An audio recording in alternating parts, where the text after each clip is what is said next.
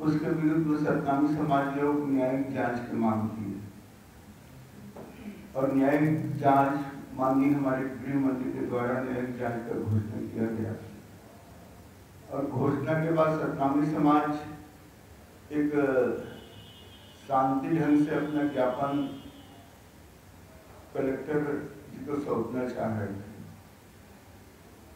लेकिन वहाँ पे भिलाई के विधायक श्री देवेंद्र यादव जी वहाँ बहुत भिलाई से कुछ असामाजिक तत्वों को लेकर के वहाँ पे पहुँच गए और मंच में चढ़ने का प्रयास किया। लेकिन सतनामी समाज के द्वारा उनको रोक दिया गया कि मंच में नहीं आ सकते। तो उन्होंने अपने जो असामाजिक तत्वों, जो उनके साथ में थे, उनके साथ वहीं पे मंच के पास बैठ करके लोगों को उकसाने का काम किया। भड़काऊ चीज़ें उन्होंने बोलना शुरू कर दिया। उत्तेजित करने का काम किया। और जिससे सत्तामी समाज शांतिप्रिय ढंग से ज्ञापन देने के लिए जा ही रहे थे और ठीक इनके साथ जितने उपद्रव गए थे वहाँ जा करके बलौदा बाज़ार के कलेक्ट्रेट में तोड़ फोड़, आग आगजनी और कितनी गाड़ियाँ उनको जल, जला दिए। इस तरह बड़ौदा में एक बहुत बड़े दुखद घटना हुआ। घटना का अंजाम दिया गया। मैं तो यही कहना चाहूँ, चाहूँगा, एक सतनामी समाज, एक शांति समाज है। और वो कभी इस तरह से दंगा प्रसाद इसको पसंद नहीं करते हैं सत्तानी समाज के लोग। उस दिन भी सत्तानी समाज को बहुत बड़े सत्तानी समाज को बहुत बड़े अपमान किया गया। जिस दिन पुलिस वाले लोग उनको दो चार बार नोटिस दिए, गिरफ़्तार हुए जब गिरफ़्तार करने उसके घर गए। तो श्री देवेंद्र यादव जी ने एक सफ़ेद झंडा लेकर के निकला और एक हाथ में कुछ रखा था। संविधान के बुक रखा था। लेकिन एक गाड़ी में जब चढ़ कर ऊपर में हाथ हिलाने की कोशिश किया तो सरकारी समाज के जो ध्वज है, उसको गाड़ी में रख दिया और गाड़ी के ऊपर, उस झंडा के ऊपर पैर रख करके खड़ा हुआ। इतना बड़े सतनामी समाज के जो हम लोग जैत खाम सत्य के प्रतीक ध्वज मानते हैं उसको इस तरह से अपमानित किया गया जिसको सत्तामी समाज कभी बर्दाश्त नहीं कर सकते। इतना बड़े हमारे समाज को अपमानित किया किया गया और साथ ही साथ, मैं तो यह भी कहना चाहूँगा, आज इसके बदल आज इसके सब करतूत के वजह से काफ़ी सत्तामी समाज के लोग जेल में हैं। उसमें कुछ निर्दोष भी हैं। तो मैं यही कहना चाहता हूँ, इस तरह से कांग्रेस पार्टी जब भी चुनाव हारती है, उनका बुखलाहट बढ़ जाता है। और इसी तरह के कृत्य ये देवेंद्र यादव सरी के जो विधायक है, जिसके ऊपर कई प्रकरण लंबित है, कई प्रकरण दर्ज है, ऐसे आदमी को कांग्रेस पार्टी एक टूल किट के रूप में उपयोग करके दंगा प्रसाद जो करा रहे हैं ये आप लोगों के समक्ष है, उसका जीता ज़्यादा उदाहरण ये बड़ौदा का घटना है। साथ ही साथ आप देख रहे हैं, कई प्रकरण इनके ऊपर है।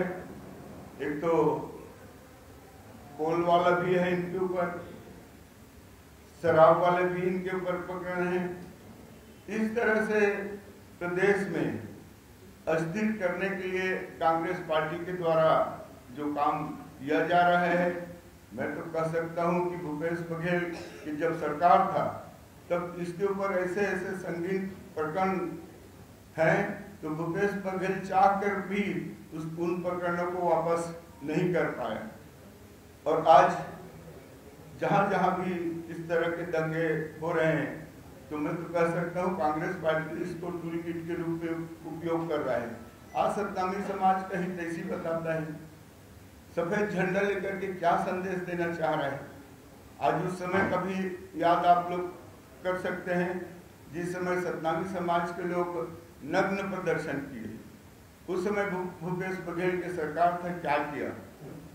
दूसरे तरफ़ लालपुर में बाबा गुरु घासीदास जी की जयंती हुआ। वहाँ भी सतनामी समाज को एक भौंकने वाला समाज बोला। और इस तरह अभी ये देवेंद्र यादव के द्वारा झंडा को पैर में रौंद रहा है पैर झंडे के ऊपर खड़ा हो रहा है। इस तरह सतनामी समाज कितना हम लोग बर्दाश्त कर रहे हैं वही मैं सम, वही मैं कहना चाहता हूँ। दूसरे तरफ़ सनम जांगड़े के अध्यक्षता में कमेटी का गठन हुआ है। उन्होंने मांग किया है कि निर्देशों को छोड़ा जाए उस पर विचार किया जा रहा है। आप देख रहे हैं कि भारतीय जनता पार्टी के हमारे माननीय मुख्यमंत्री जी के ये जो भी आरोप लगाए जा रहे हैं, कोर्ट भी तो इसको जमानत नहीं दे रहा है। कोर्ट भी में तो सिद्ध हुआ हो रहा है। जो जो भी घटना, आज भी कई घटना का आज निर्णय हुआ है। इनका भी जमानत आज खारिज हुआ है। सात दिन तक के न्यायिक जाँच में इनको भेजा गया है। इस तरह ये जो सत्तामी समाज को कलंकित करने का काम कांग्रेस पार्टी के द्वारा या देवेंद्र यादव के द्वारा जो किया जा रहा है निश्चित रूप से सतनामी समाज ऐसे ऐसे घटना को बर्दाश्त नहीं कर पाएँगे ये बात मैं कर सकता हूँ। अब सीआईडी के साथ क्या हुआ है कौन नहीं जानता है। पाँच साल तक के उनके कार्यकाल में तो सीबीआई को घुसने नहीं दिया। और उसके ऊपर विश्वास नहीं, नहीं किया। ये बात भी तो स्पष्ट है। उस काले का काम किया है। मैं उसी बात को बोल रहा हूँ, चाहे लोगों को एक तो सत्तामी समाज बहुत सीधा साधा बोले वाले होते हैं। और इनके साथ जो गए थे, वो लोग भिलाई से बताओ, चल करके भिलाई से साथ में लाया लाया गया था। मैं ये बात को बोल रहा हूँ। और और दूसरा आपके द्वारा जो कहा गया है, फ़ोटो, वो तो स्पष्ट है, जितने भी मोबाइल रखे हैं, हर मोबाइल में देखा जा सकता है उनका फ़ोटो। मैं पहले दिन भी पत्रकार वार्ता लिया था, उस दिन भी मैं बोला था कि भाई सत्तानवे समाज का आयोजन था, वहाँ देवेंद्र यादव की क्या ज़रूरत तो देखिए, और भी तो विधायक थे, लेकिन किसी के द्वारा उसकाने वाला भाषण नहीं दिया गया। ये जो है, लोगों को उसकाया है तो इतना बड़े घटना को अंजाम दिया गया है। कलेक्ट्रेट जलना, वो भी छोटे मोटे घटना नहीं, बहुत बड़े घटना है। ये बहुत सबको संसार कर देने वाले घटना हुआ है। उनके द्वारा वहाँ से जो असामाजिक तत्व लाए थे, वो लोग भी उनके साथ में हैं। पुलिस चार बार उनको नोटिस दिया है। नोटिस को भी स्वीकार नहीं किया और हाईकोर्ट भी गए। वहाँ भी इनको राहत नहीं मिला। तो इस तरह से ये जो कांग्रेस पार्टी है, जो कर रहा है, इनका सिर्फ़ और सिर्फ़ लोकसभा, विधानसभा जो चुनाव हारे हैं, उसका बौखलाहट है।